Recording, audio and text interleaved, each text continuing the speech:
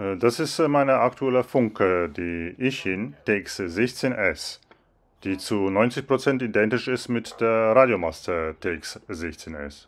Die Ichin Funke wird sogar von Radiomaster produziert.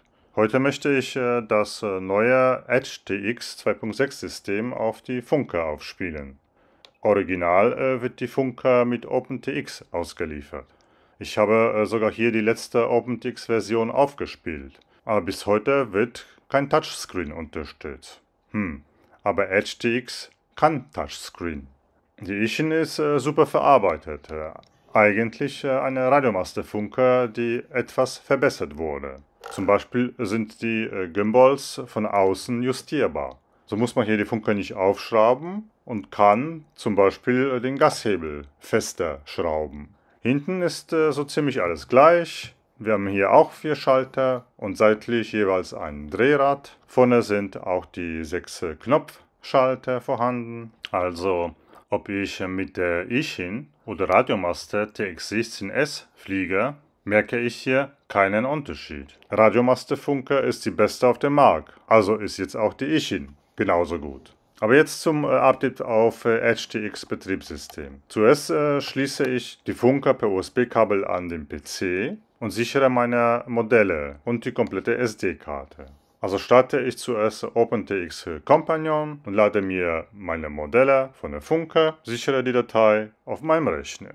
Die äh, SD-Karte nehme ich aus der Funke raus, weil das Kopieren der Dateien über einen Kartenleser schneller läuft. Hier sichere ich äh, alle Dateien von der SD-Karte. Jetzt nutze ich das EdgeTX äh, Flash Tool, weil man damit äh, leicht äh, eine SD-Karte erstellen kann.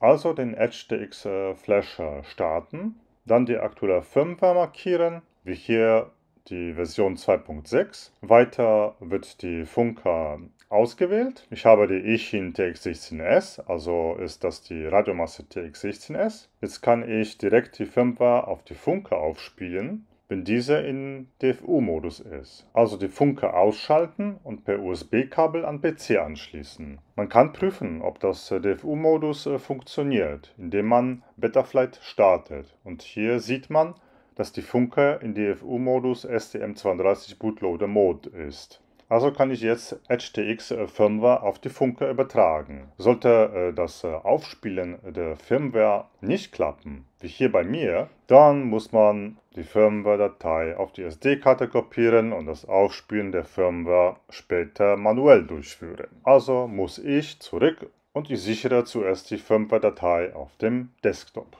Im nächsten Schritt erstelle ich die neue SD-Karte für Edge TX. Die SD-Karte aus der Funke lege ich in das Kartenlesegerät rein, wähle Radiomaster TX16 aus und dazu selektiere ich die Sprachausgabedateien in Deutsch und in Englisch.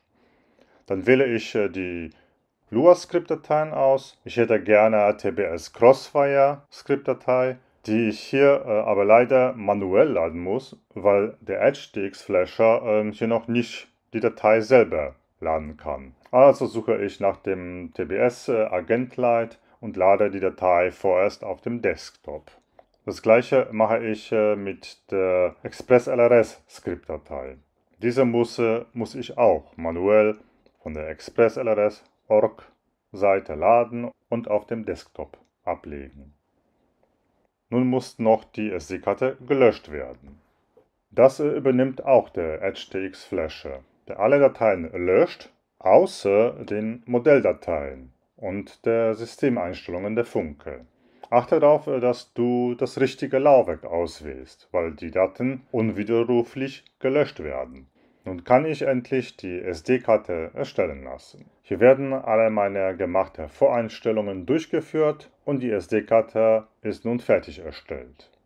Zum Schluss äh, muss ich äh, noch äh, leider die HTX Firmware auf die SD-Karte kopieren, weil es zuvor mit dem Flasher PDFU bei mir nicht geklappt hat. Zusätzlich unter Skript, Tools Ordner werden meine zwei Skripte für meinen Crossfire und mein Express LRS Modul kopiert. So, jetzt ist die SD-Karte endlich fertig und ich kann die Karte in die Funke einstecken.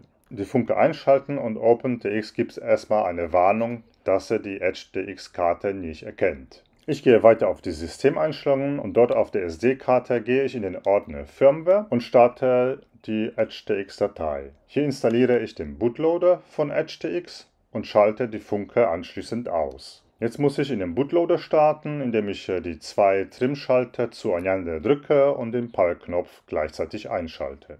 Jetzt sehe ich meinen neuen HDX Bootloader 2.6 und kann endlich die Firmware aufspielen.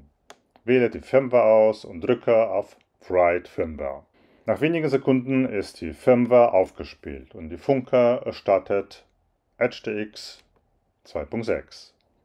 Als erstes äh, muss noch äh, HTXT Modell- und Systemdateien konvertieren. Und schon bin ich fertig. Übrigens äh, können später alle Bin-Dateien in dem Ordner Models gelöscht werden. HTX äh, arbeitet nun mit lesbaren XML-Dateien, die man sogar selber bearbeiten könnte. Genauso wird die Bin-Datei im Ordner Radio gelöscht, der die Systemeinstellungen beinhaltet. Noch äh, sieht alles leer aus, aber das Touchscreen funktioniert. HTX 2.6 äh, ist drauf und ich kann links oben draufklicken und ein Modell auswählen. HTX äh, hat alle meine Modelle behalten, nur die Bilder und die Layouts zu den Modellen fehlen. Hier kann ich auf die SD-Karte in dem Ordner Images noch die Bilder später reinkopieren. Zuerst äh, kann ich äh, mir aber das Layout von meinem Modell einrichten. Dafür drücke ich auf den Telemetrie-Knopf und kann hier mein Layout festlegen. In jedem Fensterbereich äh, kann ich ein Widget einlegen.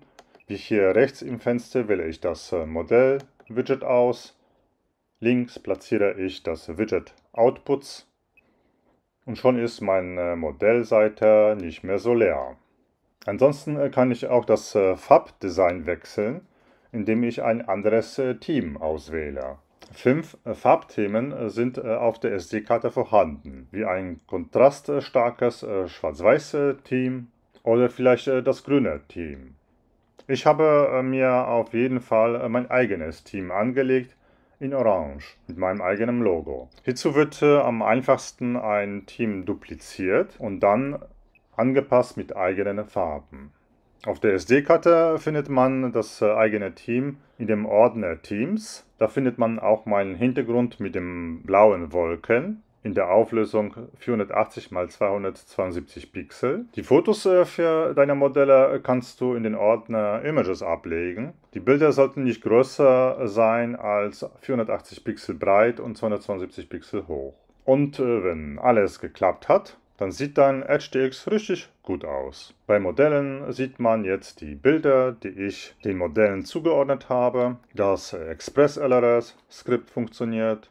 Genauso das Skript für das Crossfire-Modul läuft. Und per Touchscreen kann ich meine Widgets äh, vergrößern auf das Vollbild. Oder zwischen verschiedenen Layouts hin und her wischen. Alles klar, alles läuft.